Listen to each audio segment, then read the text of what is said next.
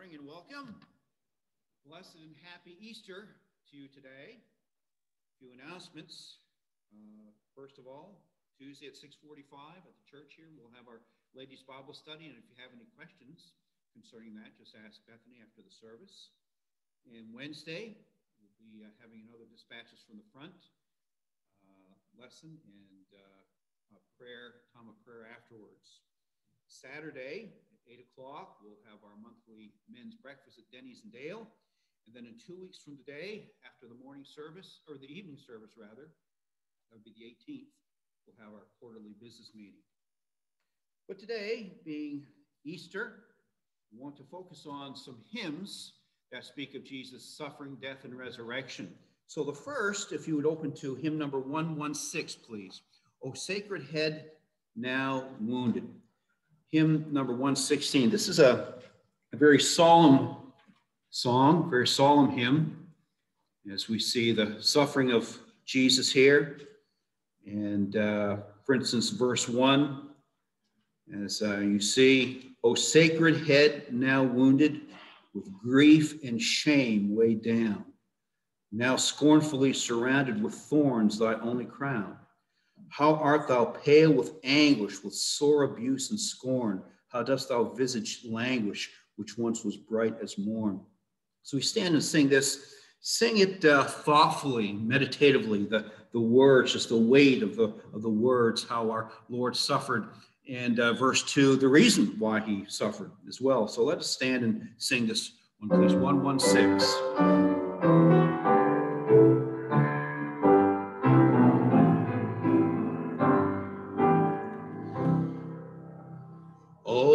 For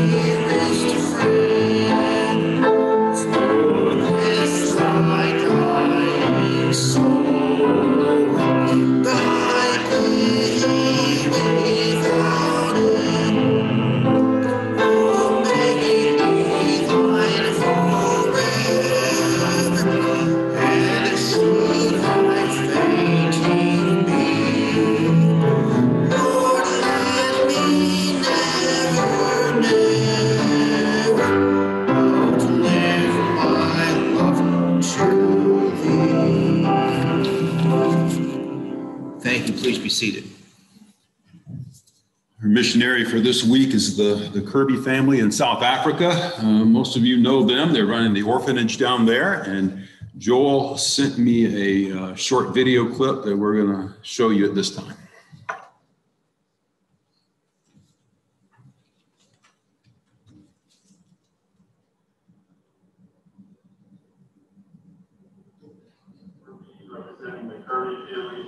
Johannesburg, South Africa at Home Children's Ministries. We just wanted to take a minute to say thank you so much for your support for us over the last few years. It means a lot. It means a lot when people come alongside and partner us and help us to be able to do what we do here. What we do here, if you don't know, is we take in at-risk and abandoned children uh, and care for them on site here at Wapiti uh, This year was crazy. Probably was crazy for you too, but even in this last crazy year, we were able to build a house that you see behind us. Uh, started just as lockdown began last year and finished it in December, and now have people uh, living in this home. So we're excited that God was working even during this time. Uh, another ministry that was able to happen during this last year is called Potentila Soweto. Uh, if you Google Maps, Soweto is one of the largest townships in the world. Nelson Mandela lived there, Desmond Tutu. Uh, it's very famous.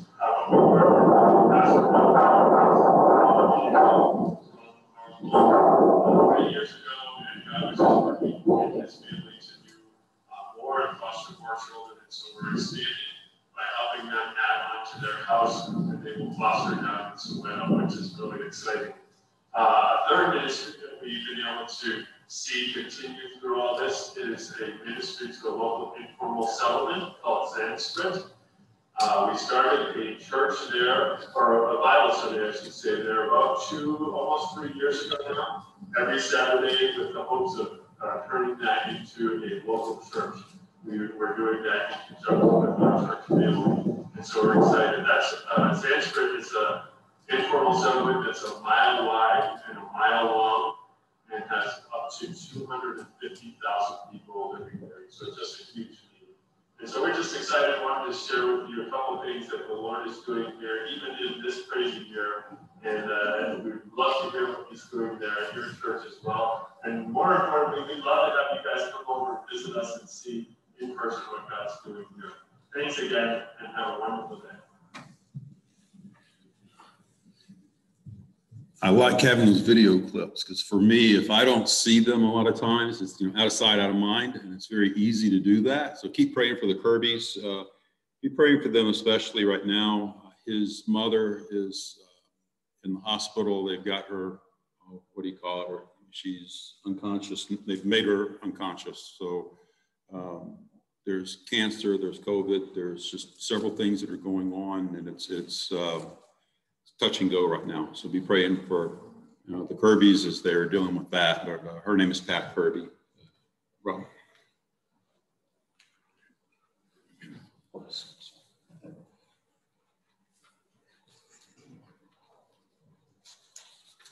All right, it's a great morning to rejoice and and praise the Lord, and we're going to do that now as we pray. So let's pray together.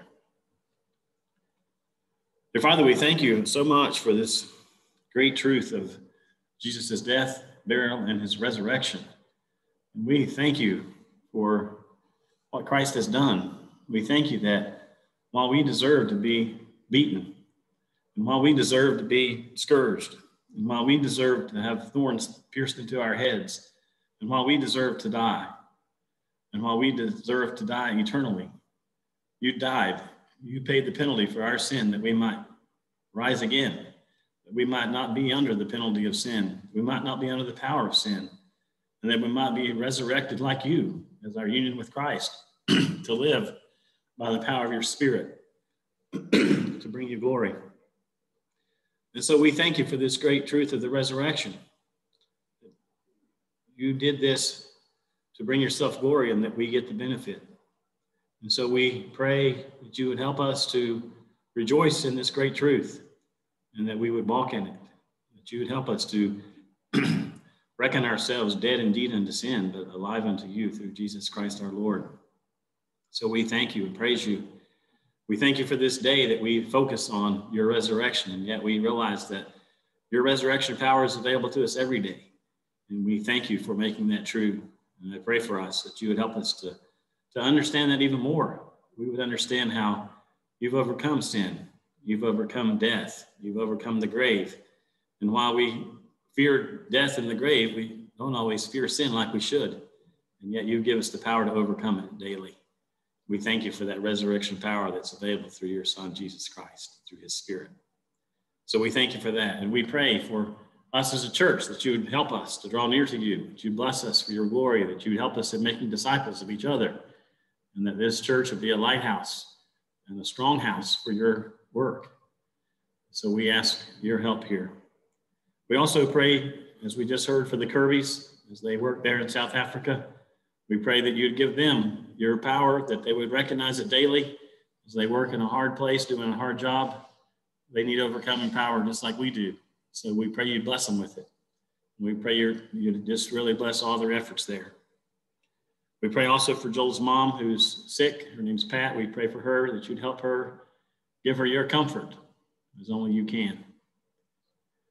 We also pray for Tom and Annie Reed as they approach this surgery this week. We pray that you would bless them, pray that you give them comfort and peace. So we ask your special blessing on them. We also pray for Mary Sue. She's not able to be here today.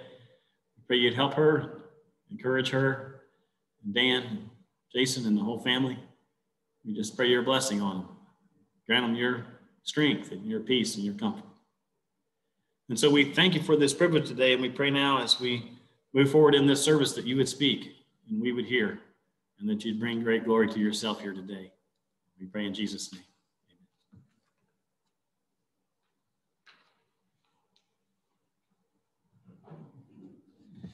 Our next hymn, 135, 135, please, in contrast to the previous one, this is one of joy and triumph, of gladness and victory, the day of resurrection. And of course, this is why we worship on Sunday, the first day of the week, because it was on Sunday that Jesus rose from the grave, and more particularly, Easter Sunday. And this is why we uh, celebrate and commemorate this day. The world has its own uh, agenda, but uh, we know the truth, and this is why there is an Easter. This is the, the reason.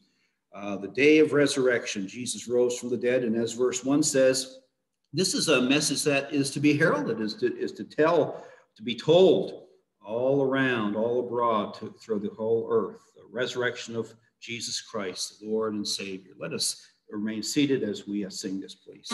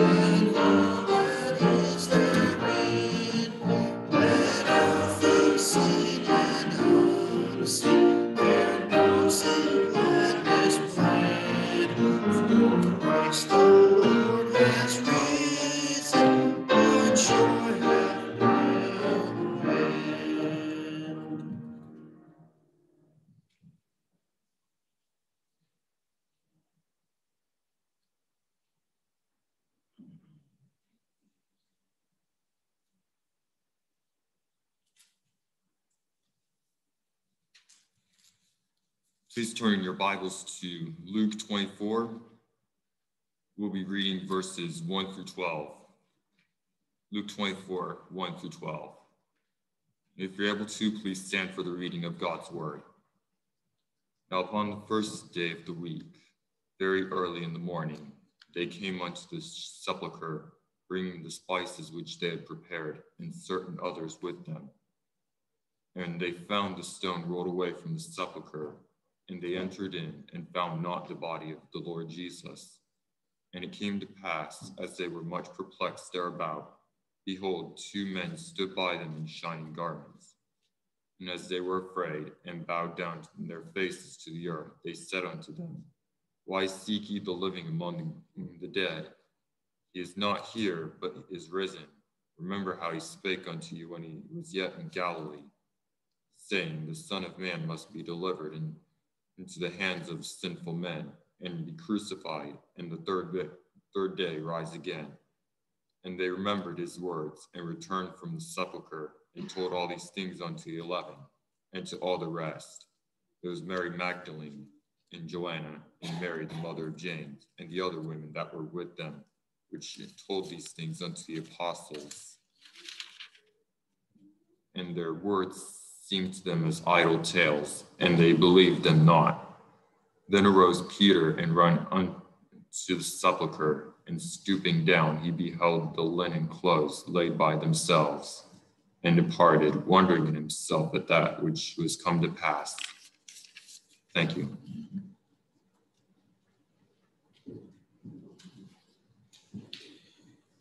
And our final hymn, 132, He Lives. And this is the glorious assurance that we have.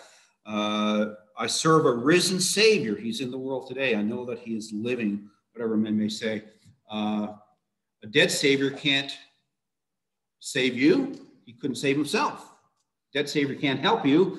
He uh, couldn't even help himself, but Jesus is a, a, living Savior. He is risen from the grave. He has conquered death, and He is with us. So we have this wonderful confidence that the various religions of the world do not have. Their saviors are, are dead. Muhammad is dead in the grave. Buddha dead in the grave, but Jesus lives.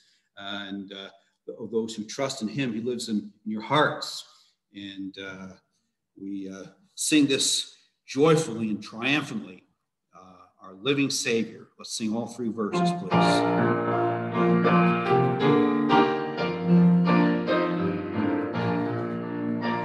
I serve a risen Savior, He's in the world today. I know that He is living, whatever men may say. I see His hand of mercy, I hear His voice of cheer, and just the time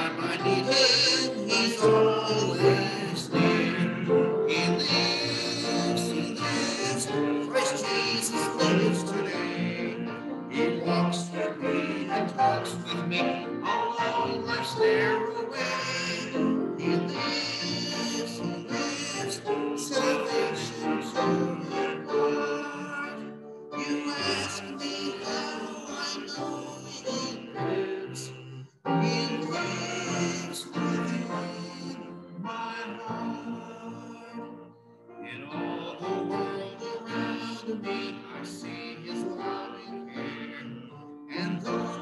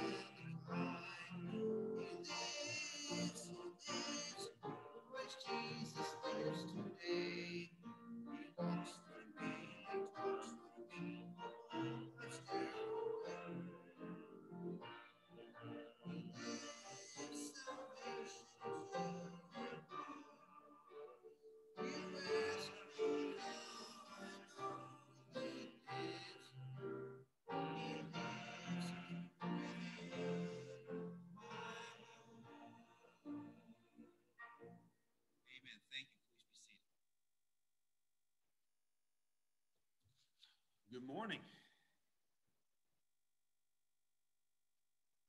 Judy, it's good to see you out again. It's been the first time they've let you out for how long now? Since it started.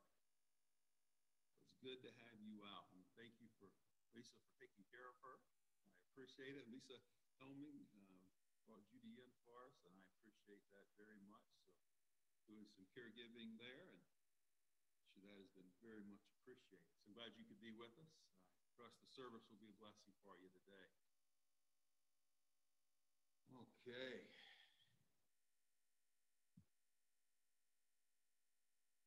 Let's go ahead and be, you, you might as well go ahead and turn in all four of your gospels. We're going to be flipping around all four places. We'll start in Matthew 28.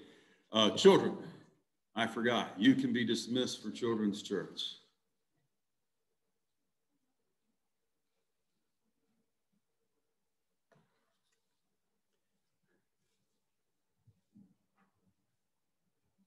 We know today marks the, the most important event that has ever happened in the history of mankind. And it's because of this day that we can, we can say with confidence, He is what? He's risen. Our Lord is risen. We don't serve a dead Savior. I had this conversation with, with a, a, young man yesterday, and was uh, we were talking about what, what's the difference of all the religions and why so many different ones? And, and really what it comes down to is you know, one of the first things is who is Jesus? And if they don't get that part right, they're done. It's who is Jesus? And after that, it's all these ones who say who Jesus is, that he is the risen Son of God. Once people understand who he is, the next question is, what do you need to do with him? How do we how do we make peace with God when we know what Jesus has done? Is it based on what we can do? Or is it based on what he's done? And it really is, is the dividing line of every religion. And there's not many that will hold to the, the simple truth that it's based on what Jesus did on that cross, that you and I can have a relationship. And I'm, I'm thankful that we can have this day where we can experience and enjoy through the scriptures what Jesus did for us. And it's good for us to remember what happened. It's good for us to remember that he rose from the dead. But we do need to remember too, as we and some of this is going to be overlap from this morning, that it's good to remember that during this, at this point in time, that 2,000 years ago, there was confusion. It was not just as clear cut. Everybody got it. There was there was pain. There was confusion. And I was sharing earlier how last night as I was as I was going to sleep, I, I laid down from 10, 10 30, and I was thinking, you know, 2,000 years ago, those people who were going to sleep were heartbroken. They, they weren't anticipating getting up and, and celebrating the resurrection of Jesus. They were going to sleep defeated. They were having a really hard time. And even after they, they understood that Jesus was risen, they were troubled. They didn't get it all. So they've gone through, and just think of the things they've seen. They saw his betrayal. The, the apostles who, who saw one of their own betray Jesus, they're hurt. They saw the arrest, they saw the false trials, they saw the abuse. And then it just all led up to seeing his crucifixion. But if that's where the story stopped, we're in big trouble. Thankfully, he didn't stay dead our Lord rose from the dead. And because of that, we have 1 Corinthians 15 and verse 14 says, And if Christ be not risen, then is our preaching vain, and your faith is also vain. There's nothing, we, we need to go home if the resurrection didn't happen.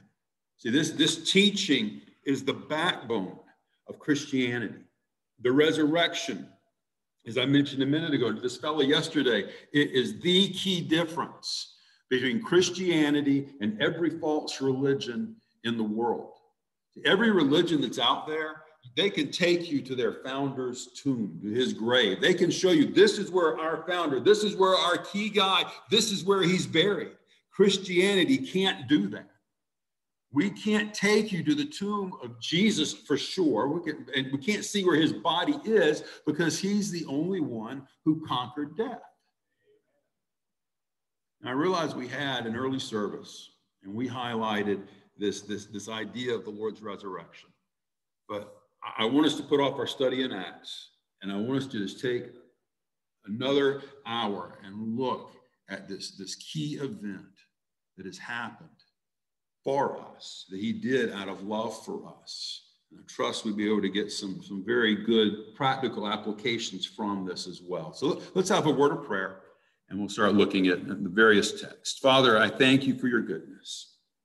Lord, thank you for loving us. Thank you for allowing Jesus to, to pay our price. Thank you for taking our sin on yourself. Lord, I, I pray that you would cause us to be grateful, cause us to remember what you've done.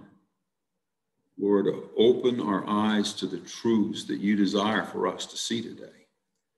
Lord, I pray for each one in this room that you would use your word to encourage, to strengthen, or whatever the individual need is. I ask that you would meet it through this time we have in your word. I ask for your help as I preach, that you would keep my words free from error. God, help me not to be a distraction to the message that you desire to have preached. And Lord, I ask most of all that you would in some way glorify yourself through our time here together today. In Jesus' name, amen.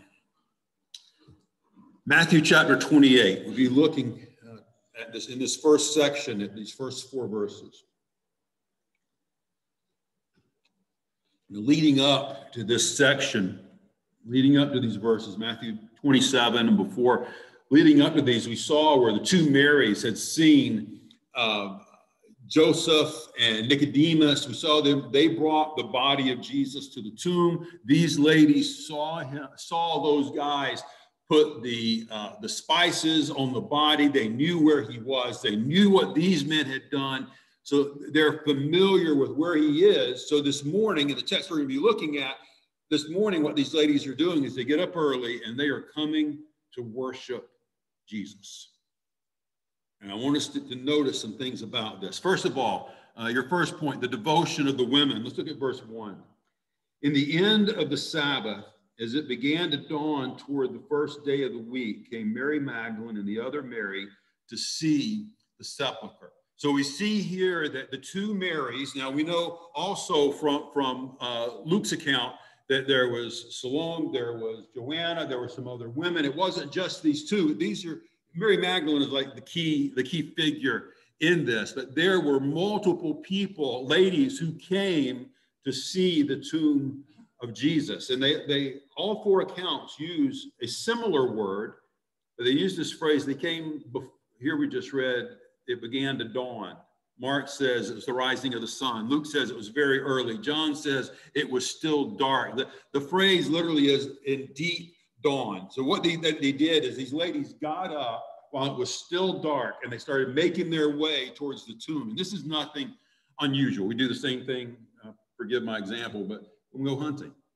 We get up while it's dark, we'll be in the tree stand when the sun's coming up so we can be ready. These ladies wanted to be up and there as daybreak was hitting. They were anxious to come and to see where Jesus was. That's the point here. These ladies are anxious. They are wanting to show their love. They're wanting to show their devotion to Jesus by bringing these expensive spices to anoint him. This is a special thing for them. And obviously, if you've got a group of ladies bringing spices at the same time, they planned this. These ladies are showing that they had a devotion to Jesus. Now, keep this in mind. In their minds, Jesus is dead, he's not risen yet. So, these ladies, even though they're, I would say they're experiencing defeat. Even though Jesus, in their minds, is still dead, they're showing allegiance. They still love him. They're still being faithful to him. And I hope this is a challenge to us this morning. Even when you and I do not understand the whys and the wherefores. Why am I having to go through this hard time? Why are these difficulties here? Why am I sick? Why am I, what, what, whatever the case may be. Even when you and I are going through hard times, we can learn from these ladies. They didn't lose their devotion to Jesus when, in their mindset, everything was lost. They stayed faithful. You and I, we, we have no excuse. We have a Lord who has risen for us, who has paid the price of our sin. How can, how, how can we not serve him when difficulties come? He deserves this. Some people have asked, why, why these ladies? Why did they get to be the first ones to, to, to find out about Jesus? And I don't know, but I can tell you this maybe it was because they were there.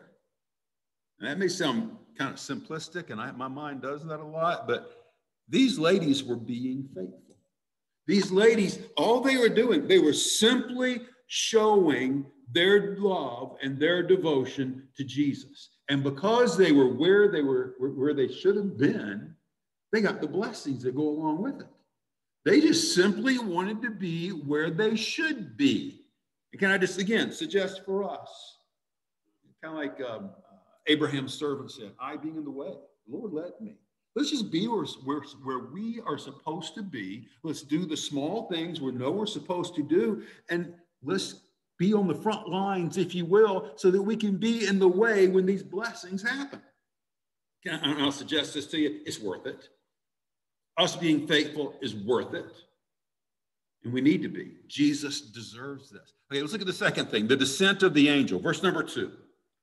And behold, there was a great earthquake, for the angel of the Lord descended from heaven and came and rolled back the stone from the door and sat upon it. So this earthquake happened, it says, for the angel of the Lord. Because this angel of the Lord, because he came down, the earthquake happened. I don't understand what that correlation was, but because the angel came down, the earthquake occurred. Now, why did he come down? He came down to roll back this stone. Now, Matthew, Mark, and Luke, they all say he rolled it back. John says it was taken away. Literally, it was removed out of its place. The only thing I can figure is maybe he rolled that thing back hard and it, it moved. It got out of its track and off of that little trough that it sets in to block in the, the hole, the entrance to the cave.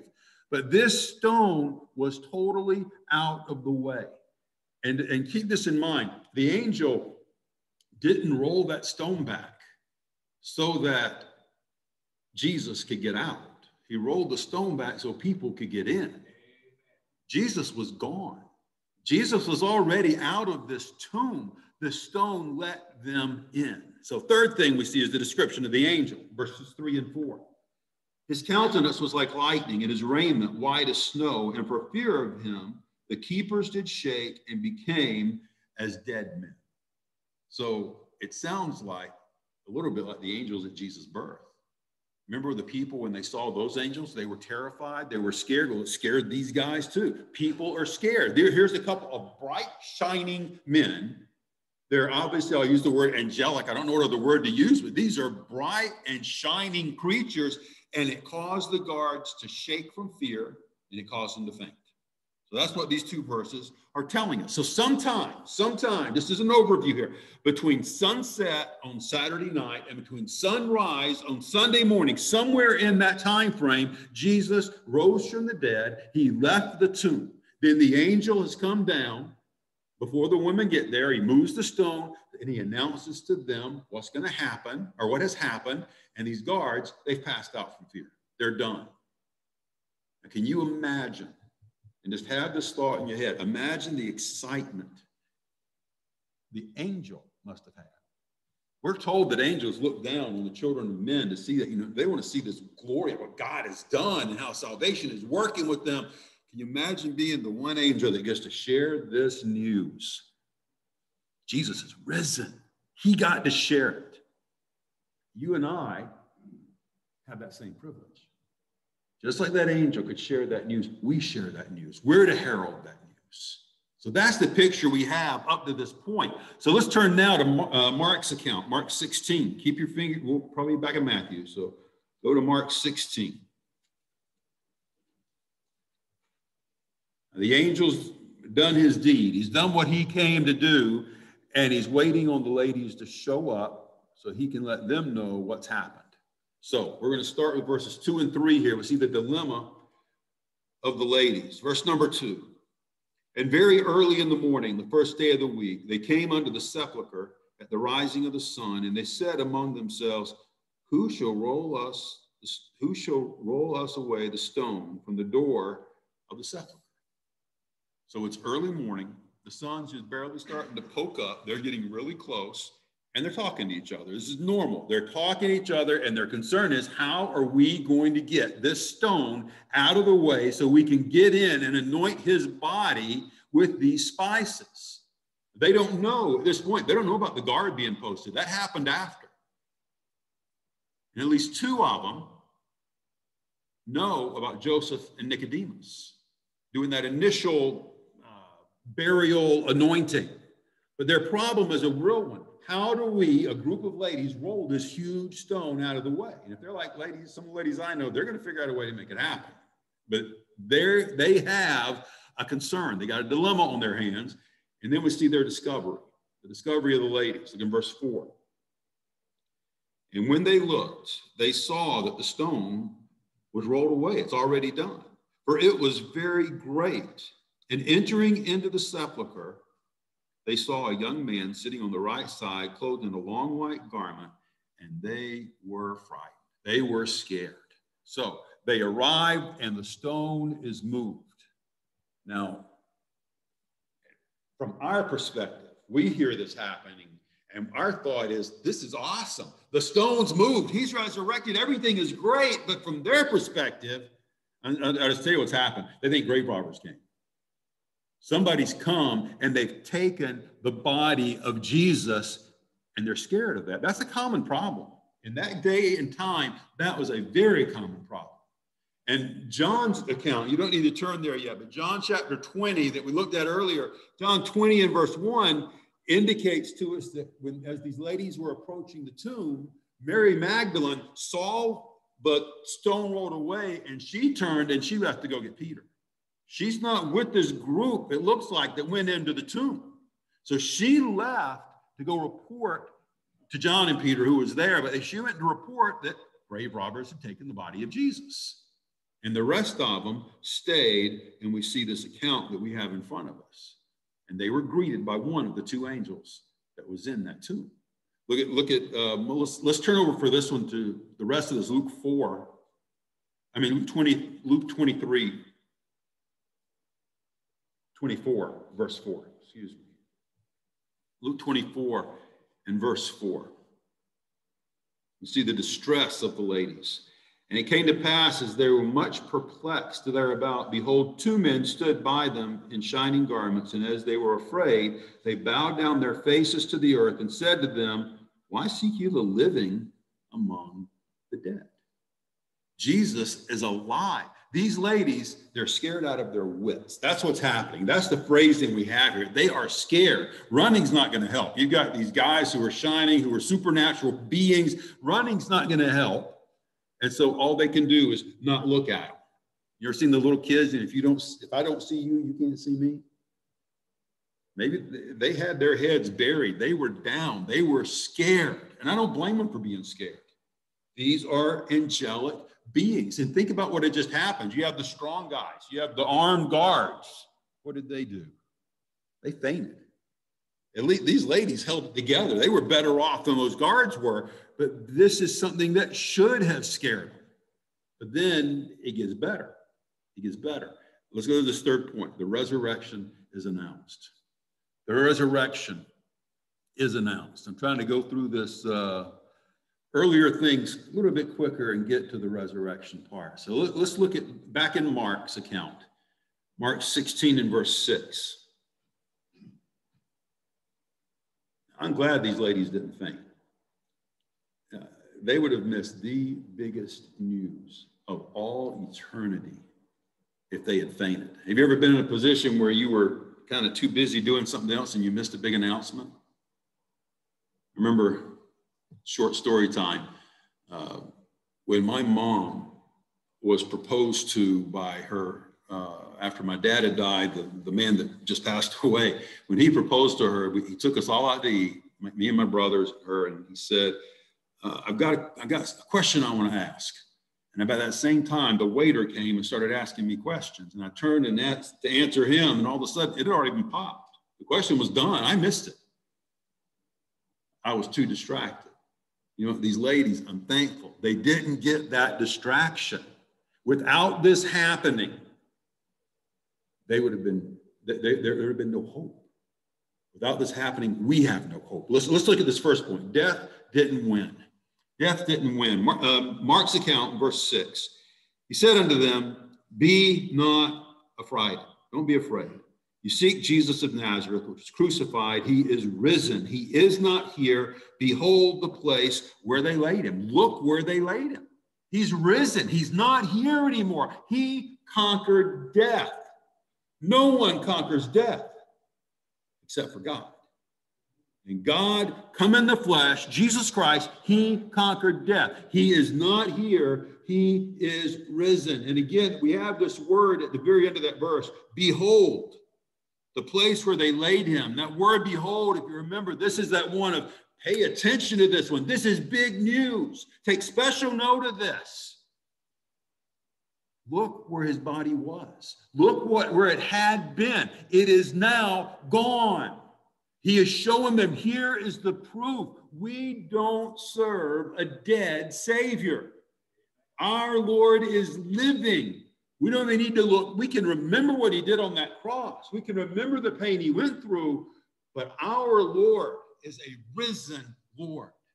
And that's where our focus needs to stay is the fact that he is no longer on that cross. He is no longer in that grave. He is risen and he is living. And again, this is the key fact that separates Christianity from every other religion in the world. This is it. You and I need to keep this in the forefront of our mind. Jesus showed his miraculous power by conquering death. This is like the keystone of all the miracles that he did. And he conquered it himself. Jesus conquered it. And because he did that, you and I can be confident that he's going to raise us too. If we know him as Savior, he will raise us. Second Corinthians, you don't need to turn to these. We'll read them. I'll just read them for you. Second Corinthians 4:14, knowing that he which raised up the Lord Jesus shall raise up us also by Jesus and shall present us with you. First Corinthians 6:14, and God hath both raised up the Lord and will also raise up us by his own power. Romans 8, verse 11. If the spirit of him that raised up Jesus from the dead dwell in you, so if you have the Holy Spirit indwelling you, you're saved, he that raised up Christ from the dead shall also quicken, make alive your mortal bodies by his spirit that dwells in you. See, this, this fact of what Jesus did, of the power he showed, this is the only reason that you and I can have this confidence of one day being able to see the Lord because he has risen. But let me, let me say this it wasn't enough, in a sense, it wasn't enough for these ladies just to know this truth. It wasn't enough. Let's look at the second point. They dispersed the truth. Again, uh, Mark's account, verse 7 but go your way, is the angel talking. Go your way, tell the disciples and Peter that he goes before you into Galilee. There shall you see him, as he said unto you. They were to go and tell the disciples. And he singles out, I like that he singles out Peter. Peter had that failure. Peter, he blew it, he denied the Lord. And Jesus is making sure, you know, you make sure Peter knows he's in this thing still. Peter hasn't, he's not gone too far from me. He can be forgiven for what he's done. And th- th- this verse, this verse to a point, it's like the second proof part, the second part of the proof of the resurrection. If all they have when they, if all they had was an empty tomb, it could have been grave robbers. If all they had was an empty tomb, you know, anything could have happened. The, the Romans could have done something. The Jews, Jewish leaders could have done something. But he states in the end of that verse that Jesus is going to appear to them. Jesus is going to come and they're going to get to see him a little bit later. There's the second part of the proof they were going to get. It wasn't just an empty tomb, it was a living Jesus. And Jesus is going to show himself very powerfully to these ladies, to the apostles. They were going to get to see him. I do like the pattern that we see with these ladies. The angel said, Come and see, right? And then the next command he gives is, Go and tell. That is exactly what you and I are supposed to be doing. We are to come and see. We need, we need to get to know Jesus. We need to enter a relationship with Jesus. And I, I was sharing with the fellow I was with yesterday. I, you know, it's not, we don't need to come and, and, and get to know a religion. We need to come and get to know a person. That person is Jesus. If you are depending this morning on being Baptist in order to get you to heaven, I'm just going to tell you, you're going to go to hell. Baptist won't do it for you. I don't care what religion it is, it won't do it for you. You need Jesus. Jesus is the answer to our sin problem. So these people, they, they got introduced to a living Savior. And when we get introduced to our living Savior and we come to know him personally, then the mandate is there go and tell. He, they were to go, in this case, go tell the apostles, go let them see what has happened. You and I, Matthew 28, are to go and proclaim Jesus. We're to go and make disciples. That is our mandate. That's what these ladies were supposed to do. Third thing we see in this point, they displayed obedience. They displayed obedience. Let's just look at verse 8. And they went out quickly and fled from the sepulchres. They trembled, they were amazed, neither said they anything to any man, for they were afraid. These ladies took off running. These ladies did what they were told, and, and we're told their emotions here. They were fearful. They should have been fearful. They were amazed. They should have been amazed. Now, we don't have it in Mark's account, but back in Matthew's, in Matthew chapter 28, we're told that they had great joy. So, yes, they were fearful. Yes, they were amazed, but they had the greatest joy that could ever come to any people on the face of this planet. These ladies were in gloom. These ladies were totally hopeless. And now they find out our Lord isn't here anymore. Our Lord is risen. These ladies, and to use our phrase today, they were pumped. They were excited about what God had done. Here's the question I've got for you How could they keep that news to themselves? How could they dare hold? How can they keep it in when you're so excited about something? You're going to tell somebody, whoever you can find, your good news. That's exactly what these ladies did. They had a direct command. How could they disobey it? These ladies were excited. You and I serve a living Lord who has given us everything. He's given us, we were spiritually dead, and He's made us spiritually alive. That's the only reason we can have any type of confidence at all. He's done this for us. How can we not obey Him? Romans 12, it's a reasonable thing that we follow Him. It's reasonable. Our Lord gave himself as a living sacrifice. He gave himself as a dying sacrifice, then as a living sacrifice. How can we not be a living sacrifice for him? That's what our commission is. Now, at this point in our account, everybody, in my opinion, everybody knew the tomb is empty. The people know. Think about this. If it was not empty, would the soldiers have still been there guarding it? Tomb's empty. They're passed out. They know that tomb is empty or they'd be staying there. They're, they're going to be gone. They're going out to tell their leaders, he's gone. The body's gone. The Jews, the Jewish leaders, they know that tomb's empty. If it was not empty, they wouldn't have been making up lies to try to conceal the fact that it's empty. The ladies know that tomb is empty. If that tomb was not empty, they'd have been busy anointing his body, putting the spices in there. They're not. These ladies took off running to the disciples. Peter and John, They know that that tomb is empty. They went and saw it firsthand. There, there- there's no other explanation for that tomb being empty other than he is risen. That's why that tomb is empty. And, and here's the point only God could do that. Only God can, can raise from the dead. And since Jesus rose from the dead, we know he is God. Now, it's, one thing to say that, but I want you to think about that phrase for just a minute. He is God. If Jesus is God, which he is, okay? If Jesus is God, that has some meaning to it. It means, number one, we're accountable to him because he's God. He's the one that keeps us breathing. He's the one that provides. He's the one that sustains. He's the one who's making the choice. Look, when, when he says it's time for you to go, you're going. You don't have control over this. And we are accountable to him. It is a blessing that he rose. I, I, I won't, I hope I never pull back from that statement. It is a blessing that Jesus rose from the dead, but it also gives us responsibility. Because we know the truth, because we know what he did, we're accountable to him. To whom much is given, much shall be required. You and I are accountable for this truth that we know because he has risen from the dead and he's offered us salvation through him and him alone. We're responsible for what we do with that, with that offer.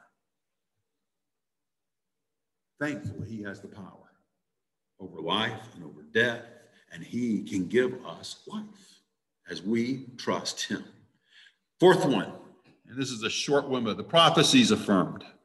The prophecies affirmed. Uh, turn over to Luke's account, Luke 24. We'll start with verse 6. Again, this is the angel speaking, saying, He is not here, but is risen.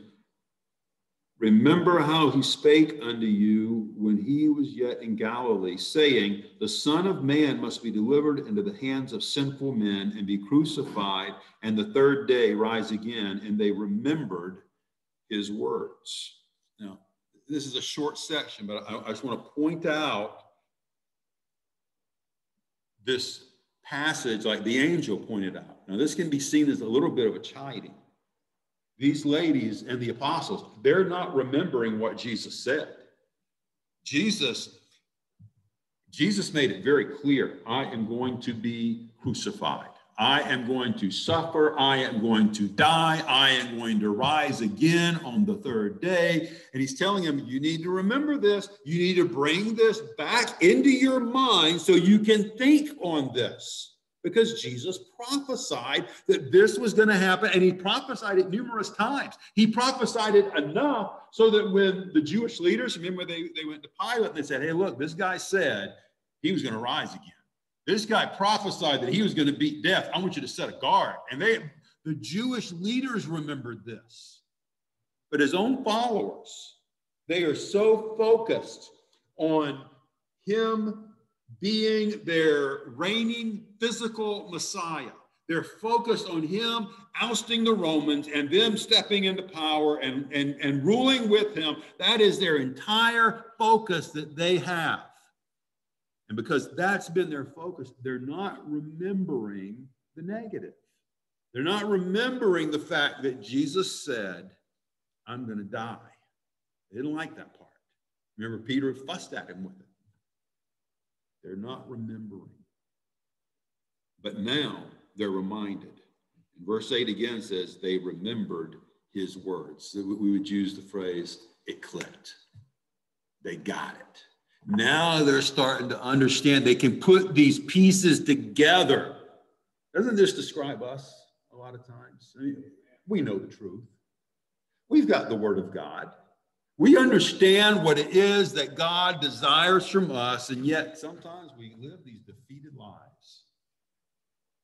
And then somebody can come alongside, like we need so often, and give us that reminder. We don't need to get you know, verbally beat up. Usually we just need that reminder. And it's that, oh, yeah, I forgot. Yeah, okay, it clicks. I get it. And we have that reminder we need to follow our Lord, to do as he expects us to do. So these prophecies are affirmed. Jesus had made the prophecies and they're being reminded. Last one, point five. The disciples are astonished. The disciples are astonished. I picture the disciples, you know, sitting in this, wherever this room was they're at. I can picture them sitting there, hanging out together, licking their wounds, feeling sorry for themselves. They, this is this is rough. They're mourning, and then all of a sudden, here comes Mary Magdalene. And then right on her heels is these other ladies. And you, can just imagine the energy that entered this room. These ladies are excited. So let's look at the, the first point here. Let's look in um, John's account, John 20 and verse 2. John 20 and verse 2, we see the disclosure of the facts. The disclosure of the facts. Then she ran, this is Mary Magdalene, and, and, came to Simon Peter, to the other disciple whom Jesus loved, there's John, and said to them, They have taken away the Lord out of the sepulchre, and we know not where they've laid him. Okay. They. We're not told who she's saying the they is. Most likely the grave robber. She's thinking, because again, this is a very prevalent problem they have back then. She leaves, she comes to him, she makes this explanation, and then we have the other ladies come in. That's in Luke's account. And they say, Peter, John, here's what the angel said. Here's what we saw. Here's what has happened. And whether they believe her or not, they're doubting her for sure. They're definitely doubting her. But whether they believe her or not is not their problem, not the lady's problem. It doesn't matter for the lady's sake whether or not the apostles receive what she said. Their job was to go and tell. Their job was just to be faithful. They obeyed what they were told to do. That's as far as they can go. You and I have the same privilege. We are told to go and proclaim, go make disciples, and we can't control what anybody else believes. We can't control what they do with what we say, but you and I must be faithful. You and I are to be like these ladies. We are to be the witnesses that we're supposed to be. Faithfulness is our responsibility. And here, those disciples, they didn't believe them. We're told in Luke's account that what they said sounded like nonsense. They didn't buy it.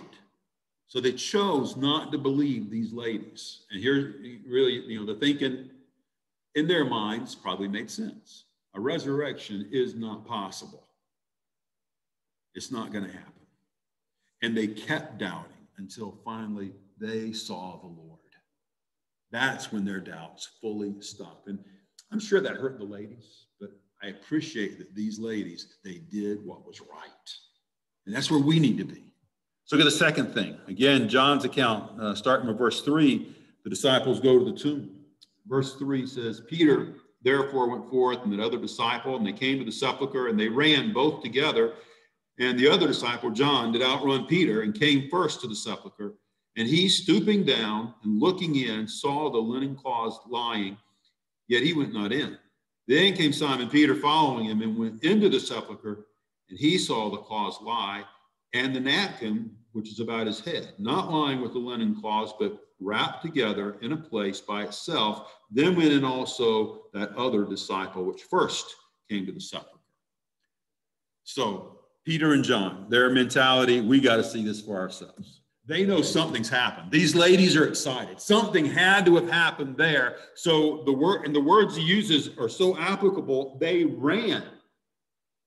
If you're just a little curious, you're going to walk. You'll talk about it as you go. But these people ran. They were anxious. One outran the other. They're that anxious. Now, verse 5, we see that John's first. He stayed outside. He looks in. He sees the, the, the, the cause that wrap that wrapped to the body. They're all lying there. When Peter gets there, he goes in and he sees the cloth that was about his head. It was folded and it's set to the side. If this had been a grave robber, they would have either taken the body with the claws wrapped around it.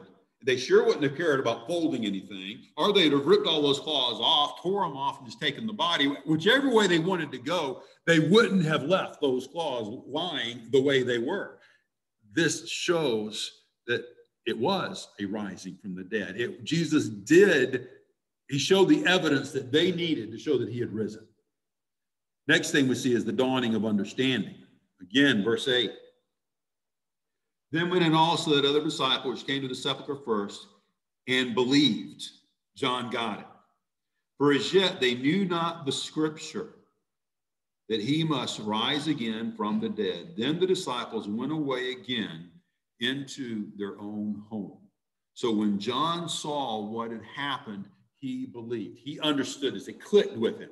Jesus had risen.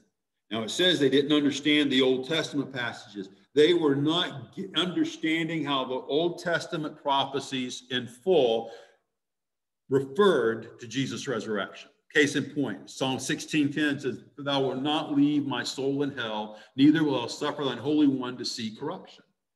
We know looking backwards, that's a clear prophecy of the resurrection of Jesus. And now they're starting to get it. Things are starting to click with them. They're understanding Jesus is gone. Jesus has risen. So what do they do? They go home. Now we're told in Luke 12, Peter's still kind of scratching his head. He's still trying to figure out what it was that had happened. And it's going to keep coming to him. He's going to keep understanding. See, you and I, we have a benefit.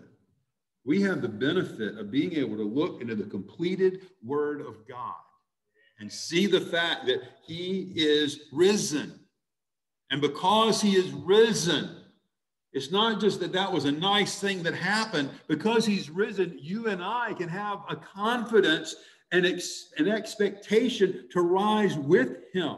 If we have received Jesus as Savior, we will rise again with Him. This is the most important event that has ever happened in the history of mankind. And what we need to remember is this it impacts every one of us, it impacts everyone on this planet.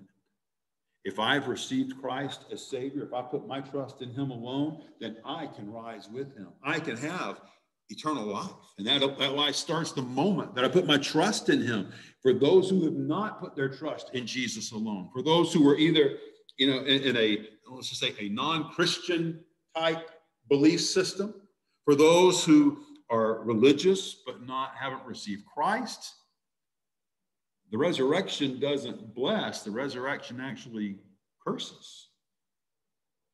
We're under condemnation, according to John 3, until we have been to use Jesus' phrase, born again. We must have that experience happen in our lives, and everything wraps around, revolves around this idea of Jesus rising from the dead. It's the most important of them. Let's stand for a moment.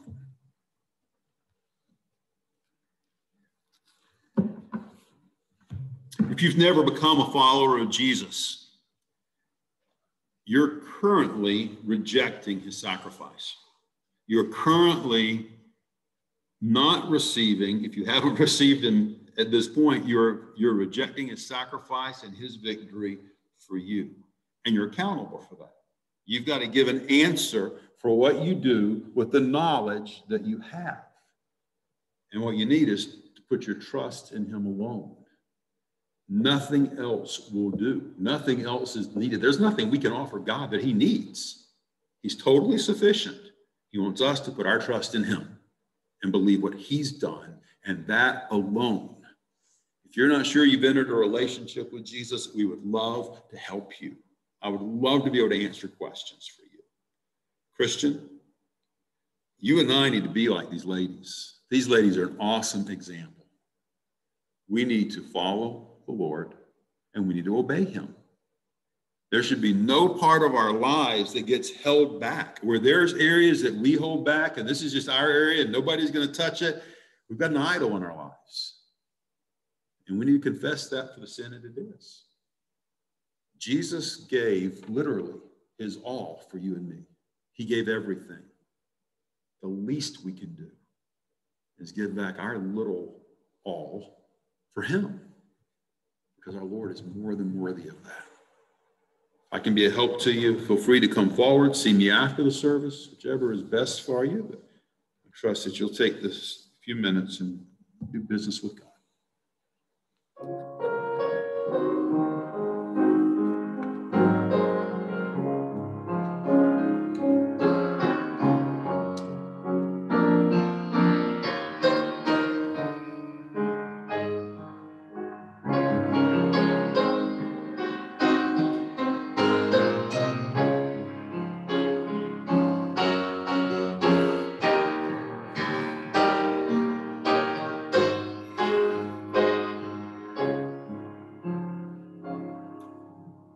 Gene, can you close us in prayer, please?